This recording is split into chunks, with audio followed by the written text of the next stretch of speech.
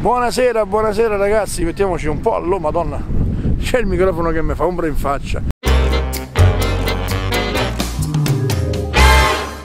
Siamo a Villa Piana, guardate che spettacolo questo lido,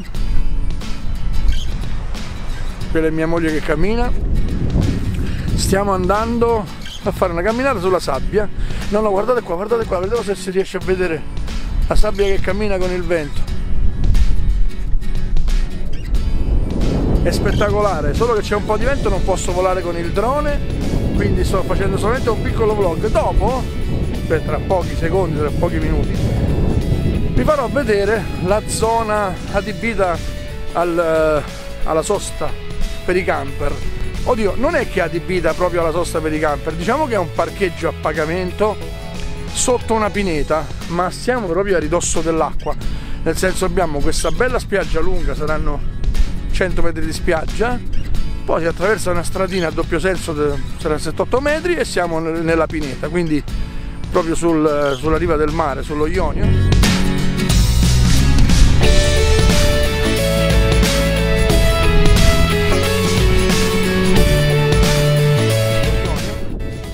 Siamo nell'Alto Ionio Cosentino, in provincia di Cosenza, Calabria, Villa Piana Lido.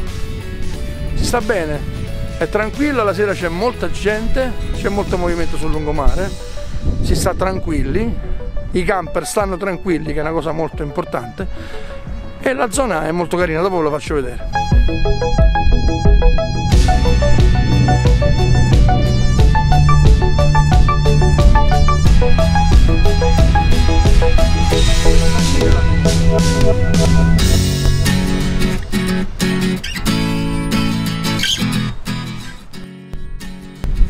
Avete visto? questo è il nostro mare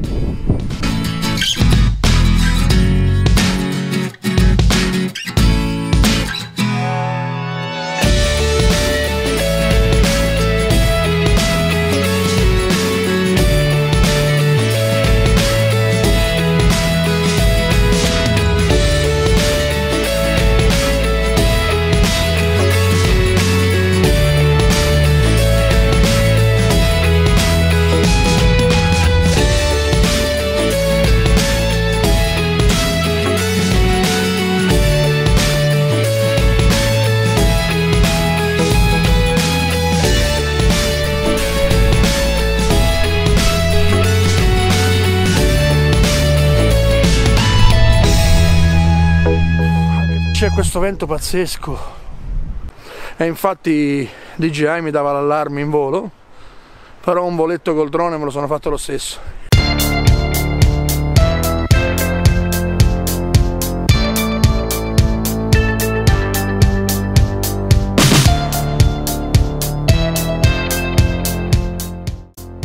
l'Air è un piccolo carro armato portatile secondo me è il miglior drone da travel vlog che possa esistere.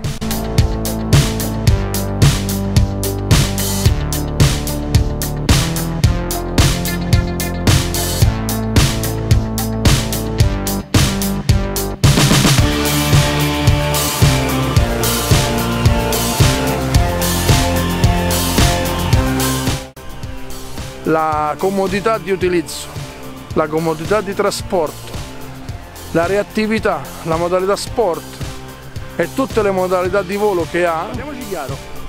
ma chi fa travel vlog che bisogno ha di andare a 5 km di distanza o a 1000 metri di altezza?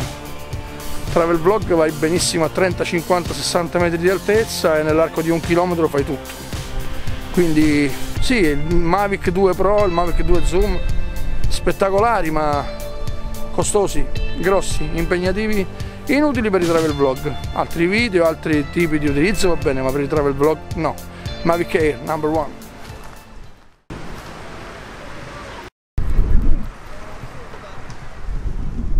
Allora questa è la pineta libera in cui uno paga un parcheggio come se fosse un'autovettura. Non so se 2 o 3 euro al giorno e ti parcheggi in santa pace su quest'area molto molto vasta. Non ci sono carichi e scarichi di acqua quindi è solo una sosta.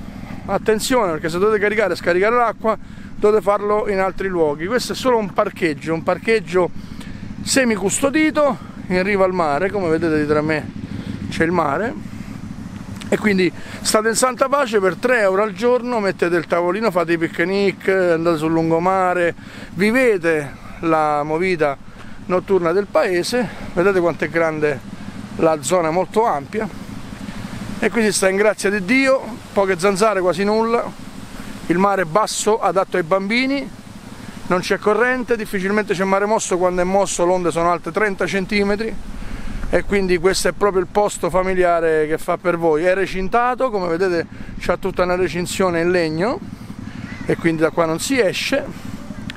Io ve lo consiglio e poi ve lo farò vedere poi più in là. Ma per questa volta mi fermo solo a una presentazione. Qualora qualcuno di voi fosse interessato ad un breve weekend in Calabria non sappia dove andare, non vuole andare da nessuna parte e vuole fare libera, beh qui si fa la libera si paga 3 euro di parcheggio quindi è una libera tra virgolette eh, legale si può fare. E state in grazia di Dio. Vi godete il mare, vi godete il sole venite in Calabria e date un'occhiata in giro, poi magari decidete l'estate se tornare, se non tornare, se cambiare posto, se andare più a sud, se andare più a nord, insomma questo è.